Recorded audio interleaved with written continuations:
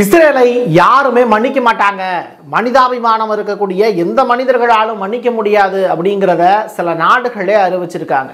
ஏற்கனவே துருக்கியினுடைய எர்டகன் மட்டும்தான் ஒரு சிறந்த ஆண்மகனாக நின்று இனப்படுகொலைவாதி அவர் அப்படின்னு ஐசிசியில் இது ரிலேட்டடான ரிப்போர்ட்டை ஃபைல் பண்ணுவோம் அப்படிங்கிறதையும் நெதன்யாவுக்கு கூடிய விரைவில் கைது செய்யப்படுவார் அப்படிங்கிற அறிவிப்பையும் எர்டோகன் வெறி வெளியிட்டிருந்தார். அதற்கு பிறகு தென்னாப்பிரிக்கா சைடில் அவங்களுடைய தூதரக அதிகாரிகள்லாம் வெளியிட்டு மறுபடியும் எடுத்துக்கிறோம்னு சொல்லியிருந்தாங்க.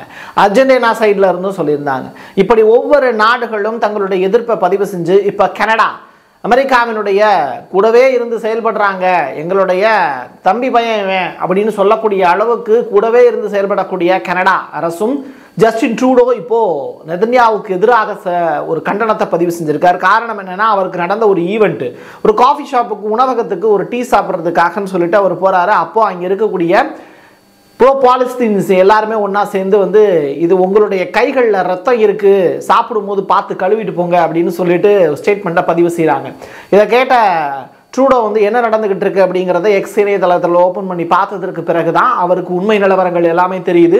குழந்தைகள் கொலை செய்யப்படுகிறார்களா அப்படிங்கிற ஒரு பெரிய ஒரு அதிர்ச்சிக்குள்ளாகி நெதன்யாகு ஒரு இனப்படுகொலைவாதி அப்படிங்கிற ஒரு விஷயத்தையும் தொடர்ந்து இஸ்ரேலுக்கு எதிரான கண்டன பதிவையும் தன்னுடைய வலைத்தளத்தில் பதிவு செய்கிறார் அவரும் இப்போது நெதன்யாவுக்கு எதிரான ஒரு செய்கையில் ஈடுபட்டிருக்காருங்கிற தகவல்.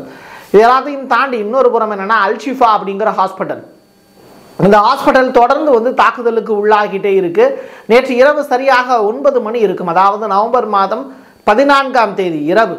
நம்மெல்லாம் இங்கே குழந்தைகள் தினம் ஒவ்வொரு பள்ளிக்கூடங்களையும் கொண்டாடிக்கிட்டு இருந்தாங்க. அதே நேரத்தில் அங்கே குழந்தைகள் எல்லாமே மரணத்தை தழுவி கொண்டிருக்கிறார்கள் அப்படிங்கிற வருத்தமான செய்தியை பதிவு செய்ய வேண்டியது இருந்தது. அதே நேரத்தில் அந்த அப்துல் பேக்கர் அப்படிங்கிற ஒரு நபர் வந்து அல்ஷிபா ஹாஸ்பிட்டலுக்கு வெளியில் தூரத்தில் நின்று ஒரு காட்சி பார்க்குறாரு. அந்த காட்சியை வந்து அல்ஜசீரா அப்படிங்கிற செய்தி நிறுவனத்துக்கு அவர் செய்தியாக கொடுக்குறாரு. என்ன அப்படின்னா நாங்கள் ஒரு ஒம்பது மணி இருக்கும் நைட்டு ஒம்பது மணி. அப்போ நாங்கள் வந்து வெளியிலேருந்து பார்த்துக்கிட்டு இருந்தோம்.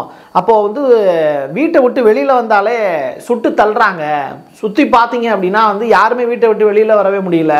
சுட்டு தள்ளுறாங்க. செஞ்சிலுவை சங்கத்தை சேர்ந்தவங்க கூட வந்து வெளியில் வந்தாங்கன்னா சுட்டு தள்ளக்கூடிய காட்சியை நான் பார்த்தேன் அப்படிங்கிறத தன்னுடைய வாக்கு மூலமாக அவர் பதிவு செஞ்சுருந்தார். தொடர்ந்து வந்து அல்ஷிபா ஹாஸ்பிட்டலில் இருக்கக்கூடிய சம்பவங்கள் அப்படிங்கிறது கேட்க கேட்க ஆச்சரியத்திலும் ஆச்சரியமாக தான் இருக்குது தாமஸ் ஒயிட் அப்படிங்கிற யூஎன் அஃபீஷியல் அதாவது யூஎன்ஆர்டபிள்யூவினோட இருக்கக்கூடிய அஃபீஷியல் என்ன சொல்கிறாருன்னா இந்த ஹாஸ்பிட்டலுக்கு கொடுக்க வேண்டிய அல்ஷிஃபா ஹாஸ்பிட்டலுக்கு கொடுக்க வேண்டிய அந்த எரிபொருளையாவது கொடுத்து அனுப்புங்க அப்படிங்கிற ரெக்வஸ்ட்டை கொடுத்துருக்காரு. எகிப்து வழியாக மொத்தமே வந்து பார்த்தீங்கன்னா ஒரு ஆஃப் டேங்க் லாரி மட்டும்தான் வருது அப்படிங்கிறத வருத்தத்தோட பதிவு செஞ்சுருக்காரு. எரிபொருள் வந்து பார்த்தீங்கன்னா ஒரு நாளைக்கு தேவையான ஒன்பது பர்சன்டேஜ் எரிபொருள் மட்டும்தான் வந்துகிட்டு இருக்கு அப்படிங்கிறது இது பத்தாது அப்படிங்கிற ஒரு விஷயத்த கோரிக்கையாக முன் வச்சிருக்காரு. அல்ஷிஃபா மருத்துவமனையில் இருக்கக்கூடிய ஹமாஸ் வந்து கட்டளை மையமாக வச்சிருக்கு. அவங்களுடைய அட்மினிஸ்ட்ரேட்டிவ் ஆஃபீஸ்லாம் இங்கே இருக்குது அப்படின்னு சொல்கிறது பொய்யான ஒரு தகவல் அப்படிங்கிறத உலகம் முழுவதும் இருக்கக்கூடிய அறிஞர்கள் பலர் சொல்லிட்டாங்க. அப்படி இருந்தாலும் நாடுகளும் இங்கே பொதுமக்கள் மீது தாக்குதல் நடத்துவதற்காக ஹமாஸ் அப்படிங்கிற ஒரு இயக்கத்தை வந்து போராளி குழு மீது பழி போடுகிறீர்கள் அப்படிங்கிற வார்த்தையும் சொல்லியிருந்தாங்க. ஏன்னா லண்டன் கிங்ஸ் கல்லூரியை சேர்ந்த ப்ரொஃபசர் ஆண்டனியூஸ் அவர் சொல்லியிருக்கக்கூடிய விஷயங்கிறது அமெரிக்காவும் இஸ்ரேலுடைய ஜெராக்ஸ் இப்போ ஒரு இடத்துல வந்து ஜெராக்ஸ் எடுக்க போகிறாங்கன்னு வச்சுக்கோங்களேன் அந்த ஜெராக்ஸை பார்த்து வந்து படிக்கிற மாதிரி. என்ன எழுதி கொடுக்குறாங்களோ அதை அப்படியே வந்து ஒரு ஜெராக்ஸ் எடுத்து படிக்கிற மாதிரி அமெரிக்கா தொடர்ந்து இஸ்ரேலுடைய ஜெராக்ஸாவே செயல்படுகிறது அப்படிங்கிற ஒரு விஷயத்தையும் இனிமேல் வரக்கூடிய காலங்களையாவது ஒரு வாழ்க்கையில் ஒரு தடவையாவது உண்மையை பேசுங்கப்பா அப்படிங்கிறதையும் இஸ்ரேலை பார்த்து ஒரு கண்டன பதிவாகவும் கிண்டல் அடிக்கக்கூடிய வகையிலையும் லண்டனுடைய கிங்ஸ் கல்லூரியினுடைய ப்ரொஃபஸர் ஆண்டனியூஸ் இந்த பதிவை பதிவு செஞ்சுருக்காரு. அல்ஷிஃபாவுக்கு உள்ள நுழைஞ்சிருச்சு இஸ்ரேல் ராணுவம் அப்படிங்கிறது அடுத்த கட்ட அதிபயங்கரமான ஒரு செய்தி. உள்ள நுழைஞ்சு என்ன பண்ணியிருக்காங்க அப்படிங்கிற கேள்விகள் நமக்குள்ள இருக்குல்ல விறுவிறுன்னு ஹாஸ்பிட்டலுக்குள்ள நுழையிறவங்க அங்க இருக்கக்கூடிய முப்பதுக்கும் மேற்பட்ட ஆண்களை நிர்வாணப்படுத்தியிருக்காங்க அப்படிங்கிற ஒரு அட்- பட்டு கேவலமான ஒரு செயலை இஸ்ரேல் ராணுவம் செஞ்சிருக்கு அப்படிங்கிறது மேலும் அதிர்ச்சி அளிக்கக்கூடிய விஷயம். இங்கே பெண்கள் இருக்காங்க குழந்தைகள் இருக்காங்க.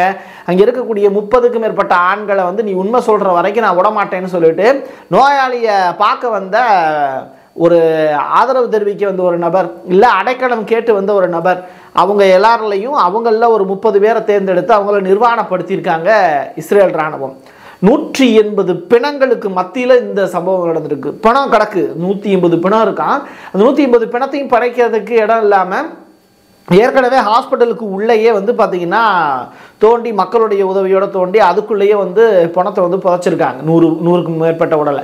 இது வந்து யார் சொல்லியிருக்கா அப்படின்னா அந்த ஹாஸ்பிட்டலுடைய இயக்குனரே வந்து சொல்லியிருந்தார். இப்படிப்பட்ட சூழ்நிலையில் இந்த ரிப்போர்ட்டை கொடுக்குறது யார் அப்படின்னு பார்த்தீங்கன்னா அங்கே இருக்கக்கூடிய ஹனி முகமது அப்படிங்கிற அந்த ரிப்போர்ட்டர் தான் இந்த செய்தியை வந்து பதிவு செஞ்சுருக்காரு.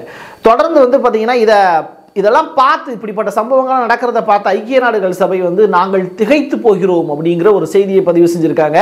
மருத்துவமனைங்கிறது போர்க்களம் கிடையாது அப்படிங்கிறத இஸ்ரேலுக்கு அவங்க ஞாபகப்படுத்துகிறாங்களாம் நல்லா ஞாபகப்படுத்தின போங்க அப்படிங்கிற கதையாக தான் இருக்குது மார்ச்சிங் கிரிப் கிரிபிட்ஸ் அப்படிங்கிற நபர் வந்து ஐக்கிய நாடுகள் சபையில் இருக்கக்கூடிய நபர் வந்து ஒரு வருந்தத்தக்க நிகழ்வாக இதை பதிவு செஞ்சுக்கிட்டு இருக்காரு. வெறுமன அறிக்கைகளை மட்டும் சொல்லக்கூடிய நீங்கள் வேலையை ரிசைன் பண்ணிட்டு போயிட்டீங்க அப்படின்னா ஐக்கிய நாடுகள் சபை அப்படிங்கிறது அது எதுக்கு இருக்குன்னு தெரியல. சரி ரைட் அதை பற்றி பேச வேண்டாம் நம்ம. தண்ணீர் இல்லை அப்படிங்கிற ஒரு விஷயத்தை தாண்டி இப்போது ஹாஸ்பிட்டலுக்குள்ள குடி தண்ணி வராட்டி கூட வந்து ஆறு நாள் குடிக்காமல் தான் மக்கள் இருக்காங்க. ஆனால் அந்த கழிப்பறையை பயன்படுத்தும் போது தண்ணி இல்லை அப்படின்னா எவ்வளவு சிரமத்துக்கு உள்ளாவாங்க? நோய் தொற்று ஏற்பட்டு தான் அந்த இடத்துல வந்து சிகிச்சைக்கு போகிறாங்க அங்கேயே நோய் பரவக்கூடிய அபாயம் இருக்குது அப்படிங்கிறது தான். சரி மருத்துவமனையை விட்டு மற்றவங்களாம் வெளியில் வந்துடலாமான்னு பார்த்தா மருத்துவமனையை விட்டு யாரெல்லாம் வெளியில் வர்றாங்களோ அவங்கள பூரா துப்பாக்கியை வச்சு சுட்டு கொலை பண்ணிடுது இஸ்ரேல் ராணுவம். அதனால் மருத்துவமனையை விட்டு அந்த மக்களால் வெளியில் வரவும் முடியல. டோட்டலாக அந்த அல்ஷிஃபா ஹாஸ்பிட்டலுடைய சுற்றி ரவுண்ட் அப் பண்ணியிருக்கு இஸ்ரேல் ராணுவம். அதனுடைய பீரங்கிகளும் டேங்கிகளும் உள் முன்னாடி வந்து நிற்கிது யமன் மாதிரி வந்து நிற்கிது மக்களால் ஒன்றுமே செய்ய முடியல. ஜன்னலை திறந்தாங்க அப்படின்னாலே அந்த ஜன்னல் வழியாக எட்டி பார்க்கக்கூடிய நபர்களை நோக்கி வந்து துப்பாக்கி வச்சு சுடுதான் இஸ்ரேல் ராணுவம். ஜன்னலை ஜன்னலையே திறக்க முடியல அப்படின்னு சொல்லிட்டு அங்கே இருக்கக்கூடிய டாக்டர் அஹ்மத் எல் மொகல்லாடி அவர் வந்து இந்த ஸ்டேட்மெண்ட்டை பதிவு செஞ்சிருக்கார். சர்வதேச மனித உரிமை அமைப்பு எங்கேயா இருக்கீங்க நீங்க அப்படிங்கிற கேள்வியை காட்டமாக பதிவு செஞ்சிருக்காரு இந்த டாக்டர். அது மட்டும் கிடையாது ஒன்பதாயிரம் பேர் மருத்துவமனைக்குள்ள திண்டாடிக்கிட்டு இருக்கோம். உலகத்தில் யாருக்காவது கண் இருக்கா இல்லையா அப்படிங்கிற ஒரு பரிதவிப்பு மிகுந்த ஒரு கேள்வியையும் எதிர்பார்ப்போடு வந்து கடைசி எங்களுடைய குரல் உங்களுக்கு கேட்குதா இல்லையா? நாங்கள் மறுபடியும் இந்த குரலை வந்து உங்களை நோக்கி வந்து கேட்க வைக்க முடியுமான்னு கூட தெரியல. தொலைத்தொடர்பு துண்டிக்கப்பட்டு விட்டது.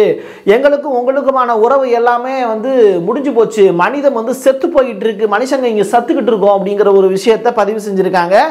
கிட்டத்தட்ட இரண்டாயிரத்தி ஐநூறுலேருந்து மூவாயிரம் நோயாளிகள் அங்கே அவதிப்பட்டுக்கிட்டு இருக்காங்க. அவங்கள பார்க்க வந்தவங்க அகதிகள் அந்த இடத்துல வந்தவங்க உள்நோயாளியாக அனுமதிக்கப்பட்ட மேலும் ஆறாயிரம் பேர் ஒட்டுமொத்தமாக சேர்த்து ஒன்பதாயிரம் பேர் மருத்துவமனைக்குள் சாவை எதிர்நோக்கி காத்து கொண்டு இருக்கிறார்கள் இது தவிர்த்து ஜபாலியா அப்படிங்கிற அகதிகள் முகாம் நான்கு குழந்தைகளை வந்து சுட்டு தள்ளி இருக்கு இஸ்ரேல் ராணுவம் அவங்க என்ன பண்ணாங்க அப்படி தப்பு பண்ணாங்க அப்படின்னு கேட்டால் வீட்டுக்குள்ளே இருந்து வெளியில் வந்து தண்ணி பிடிக்கிறதுக்காக அந்த குழந்தைங்க வெளியில் வந்திருக்காங்க.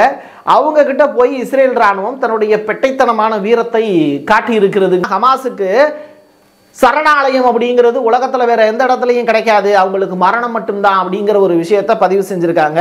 நாங்கள் வேட்டையாடுவோம் ஹமாசை அப்படிங்கிற வார்த்தைகளையும் பதிவு செஞ்சுருக்காங்க இஸ்ரேல் ராணுவம். அரசாங்க மையத்தை பிடித்தது போல எப்படி உலகம் முழுவதும் இருக்கக்கூடிய அரசாங்கத்தில் இருக்கக்கூடிய அந்த மையங்களை பிடிச்சது மாதிரி அங்கே இருக்கக்கூடிய தலைவர்கள் மூலியமாகவும் நாடாளக்கூடிய தலைவர்கள் மூலமாகவும் ஹமாஸ் உலகத்தின் எந்த பகுதிகளில் இருந்தாலும் அவங்கள நாங்கள் துரத்தி வேட்டையாடுவோம் அப்படிங்கிற விஷயத்தை முன்னாள் பாதுகாப்பு அமைச்சர் இஸ்ரேலுடைய பெனி கன்ஸ் அவர் இந்த ஸ்டேட்மெண்ட்டை பதிவு செஞ்சிருக்காரு.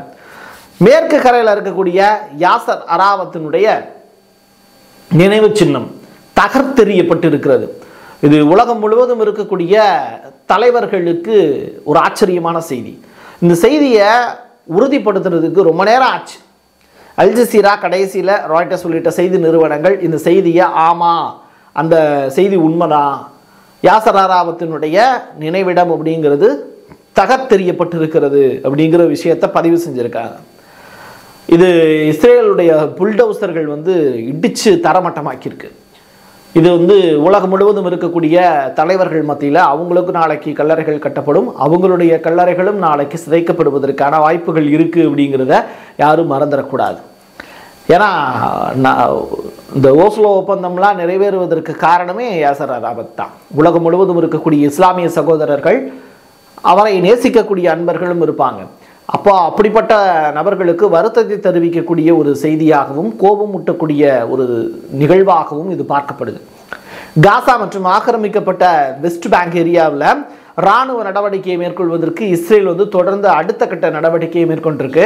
இதுக்காக பட்ஜெட் பற்றாக்குறையாக இருக்கிறதுன்னு சொல்லிட்டு அமெரிக்காவுக்கிட்ட பிச்சை எடுக்க வேண்டிய ஒரு துர்பாக்கியமான சூழ்நிலை மறுபடியும் இஸ்ரேலுக்கு வந்திருக்கு. அதனால் ஆறு பில்லியன் டாலர் வந்து பற்றாக்குறையாக இருப்பதாக கணக்கு காட்டியிருக்கிறது இஸ்ரேல். இஸ்ரேலை அடைச்சி வச்சிருக்கக்கூடிய கைதிகளை விடுதலை செய்யணும் அப்படிங்கிறதுக்காக கத்தார் வந்து மத்தியஸ்தம் தொடர்ந்து பண்ணிக்கிட்டு இருக்கு. ஏற்கனவே கத்தார் வந்து இந்த மாதிரியான போர் நிறுத்தங்கள் பண்ணுறதுக்கு அவங்க தான் வந்து கூட வந்து நின்றாங்க. அப்படி இருக்கும்போது அடைச்சி வச்சிருக்கக்கூடிய கைதிகள் எங்கே? இஸ்ரேலில் வந்து பாலஸ்தீனியர்களை அடைச்சி வச்சுருக்காங்கல்ல. அவங்களுடைய ஜெயிலில் இருக்கக்கூடிய கைதிகள் எல்லாத்தையும் ரிலீஸ் பண்ணணும். அடைச்சு வைக்கப்படக்கூடிய கைதிகள் ஒன்றும் குற்றவாளிகள் கிடையாது. அவங்களாம் குழந்தைகள். அவங்க பாலஸ்தீனியர்களாக பிறந்தது மட்டும்தான் அவங்க செஞ்ச பாவமே தவிர மற்றபடி அந்த குழந்தைகள் எந்த பாவமும் பண்ணல எந்த குற்றமும் பண்ணல. ஆனால் இஸ்ரேலிய ராணுவம் வந்து அவங்கள அடைச்சி வச்சிருக்கு பெண்களை அடைச்சி வச்சிருக்காங்க. அவங்கள ரிலீஸ் பண்ணணும் அப்படிங்கிறது ஹமாசனுடைய குறை உலகம் முழுவதும் இருநூற்றி நாற்பது பேரை பற்றி பெரிய அளவில் பேசிக்கிட்டு இருக்காங்க. ஆனால் பாலஸ்தீன சிறையர் சிறைகளில் பாலஸ்தீன மக்கள் வந்து இஸ்ரேலிய சிறைகளில் ஆயிரத்துக்கும் மேற்பட்டோர் வந்து இருக்காங்க. அவங்கள பற்றின பேச்சு அப்படிங்கிறது இங்கே யாருமே பேசுறது இல்லை பாலஸ்தீனத்தில் இருக்கக்கூடிய மக்கள் அங்கே வேலைக்கு போயிட்டு அவங்க ரிட்டர்ன் வரும்போது கிட்டத்தட்ட நான்காயிரத்துக்கும் மேற்பட்ட தொழிலாளர்கள் திடுதுப்புன்னு வந்து வேலையெல்லாம் செஞ்சது போது நீங்கள் வெளியில் போங்கன்னு சொல்லும்போது தங்களுடைய வீடுகள்லாம் இடிக்கப்பட்ட காட்சிகளை நம்ம பதிவு செஞ்சுருந்தோம். அந்த நாள் வந்து எனக்கு இன்னமும் கண்ணுக்குள்ளேயே நிற்கிது ஒரு தொழிலாளி தன்னை நம்பி வந்திருக்கான். அவனுடைய வீடுகளை பூரா இடிச்சிட்டோம் நீ ஓடி போய் பாடுறா அப்படின்னு சொல்லிட்டு அவனை பார்த்து இவங்க சந்தோஷப்படுறதுங்கிறது எந்த மாதிரியான முதலாளித்துவமான ஒரு வாழ்க்கை அப்படிங்கிறத நீங்கள் நினச்சி பாருங்கள் காசு மட்டும்தான் இங்கே பெருசு நிலம் மட்டும்தான் பெருசு. இங்கே மனுஷங்களும் பக்கத்தில் இருக்கக்கூடிய மனுஷன் மேலே பரிவுங்கிறது இங்கே யாருக்குமே இல்லைங்கும்போது எதுக்குடா வாழ்கிறீங்க அப்படிங்கிற கேள்வியை நமக்கு நம்மளே கேட்டுக்க வேண்டிய ஒரு தேவை இருக்குது ஏன்னா இங்கே ஒரு பெரிய ஒரு வெள்ளம் வரும்போது மட்டும்தான் நமக்குள்ளே இருக்கக்கூடிய மனுஷா மனிதாபிமானங்கிறது பொத்துக்கிட்டு வருது. ஆனால் டெய்லி நம்ம தினந்தோறும் வாழ்க்கையில் நம்ம பக்கத்தில் இருக்கக்கூடிய மனுஷனை வந்து ஒரு சதைப்பிண்டமாக தான் பார்த்துக்கிட்டு இருக்கோம். அப்போது எதுக்காக இந்த வாழ்க்கை அப்படிங்கிறதே நமக்கு தெரியாத அளவுக்கு இங்கே படிக்கக்கூடிய செய்திகள் மூலியமாகவும் கிடைக்கக்கூடிய தகவல்கள் மூலியமாகவும் அதிர்ச்சிகரமாகவே இருக்குது இன்னொரு புறம் என்னென்னா ஐடிஎஃபினுடைய செய்தி தொடர்பான டேனியல் ஹகாரி இன்னைக்கு ஒரு செய்தி ஒன்று வெளியிட்டிருந்தாங்க. அந்த செய்தியில் என்ன அப்படின்னா முக்கியமான விஷயம் இப்போ நடந்துக்கிட்டு இருக்குல்ல இந்த போர். அதை அங்கே இருக்கக்கூடிய இஸ்ரேலில் இருக்கக்கூடிய யூதர்களே நான்கு பர்சன்டேஜ் கூட நிதன்யாகுவை வந்து மதிக்கவே இல்லையா? அவமானப்படுத்துகிறாங்களாம் கேலி பண்ணுறாங்களாம் கிண்டல் பண்ணுறாங்களாம் வந்து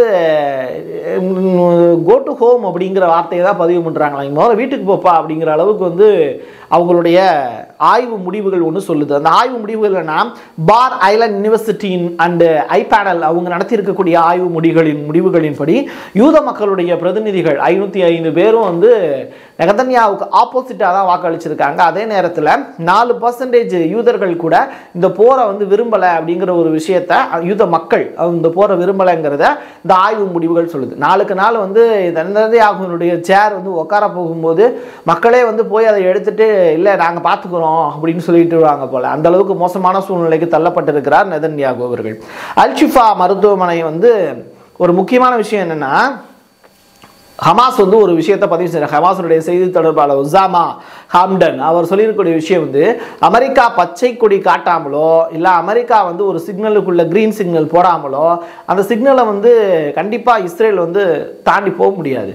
அப்படி இருக்கும்போது இந்த போர் நடக்கிறதுக்கும் இனப்படுகொலை நடக்கிறதுக்கும் தூண்டுகோலாக இருப்பது இந்த போருக்கு துணை நிற்பது இனப்படுகொலைக்கு தூண்டுகோலாக இருப்பது பைடன் தான் அப்படிங்கிற விஷயத்த அமெரிக்காவை நோக்கி தன்னுடைய விரலை பதிவு செஞ்சுருக்காரு. இது எல்லாத்தையும் தாண்டி நம்ம வீடியோ போட்டது கடைசி நிமிஷத்தில் கிடைச்ச தகவல் என்னென்னா ராய்டர்ஸ் சைட்லேருந்து கிடைக்கக்கூடிய தகவல் மூன்று நாள் போர் நிறுத்தம் அப்படிங்கிற ஒரு விஷயத்த ஹமாஸ் வந்து இப்போது கடைசியாக ஒரு ஸ்டேட்மெண்ட்டாக சொல்லியிருக்காங்க போல். அதுக்கு வந்து கத்தார் சைட்லேருந்து அவங்கள்ட்ட ரெக்வஸ்ட்டாக வச்சுருக்காங்க. அவங்க தான் மத்தியஸ்தம் பண்ணிக்கிட்டு இருக்காங்க. அந்த அடிப்படையில் மூன்று நாள் போர் நிறுத்தம் ப்ளஸ் ஐம்பது ஹோஸ்டேஜ் விடுவிக்கிறது தொடர்பாக ஹமாஸ் வந்து ஓகே சொல்லியிருக்காங்க அப்படிங்கிற ஒரு தகவல் வெளியாயிருக்கு. கூடிய விரைவில் இது இடைக்கால போர் நிறுத்தமாவது அறிவிக்கப்படுவதற்கான வாய்ப்பு இருக்குது அப்படின்னு சொல்கிறாங்க அடுத்து இது எல்லாத்தையும் தாண்டி அடுத்த கட்டமாக நம்ம பார்க்க வேண்டிய செய்தி அப்படிங்கிறது ஒன்று இருக்குது இன்டர்நேஷ்னல் கிரிமினல் கோர்ட்டில் வந்து ஒரு முக்கியமான சில பெட்டிஷன்ஸ்லாம் ஃபைல் ஆகிருக்கு இஸ்ரேலுக்கு எதிராக அந்த பெட்டிஷனுடைய தற்போதைய நிலை என்ன அப்படிங்கிறது தொடர்பாகவும் அங்கே இருக்கக்கூடிய வழக்கறிஞர்கள் எதை நோக்கி வாதாட போகிறாங்க அப்படிங்கிறது தொடர்பாகவும் இன்டர்நேஷ்னல் கிரிமினல் கோர்ட் மூலியமாக நிதன்யாகு எப்படி எப்படியெல்லாம் தண்டிக்கப்படலாம் அப்படிங்கிறது தொடர்பாகவும் இந்த வழக்கறிஞர்கள் வச்சுருக்கக்கூடிய பெட்டிஷன் அடிப்படையில் அந்த வழக்கு செல்லக்கூடிய பாதையின் அடிப்படையில் என்ன மாதிரி தீர்ப்பு கிடைக்குங்கிறத அடுத்த வீடியோவில் பார்க்கலாம். என் கையெழுத்து என் மக்களுக்கானது. மீண்டும் ஒரு பதிவில் சந்திக்கலாம். நன்றி வணக்கம்.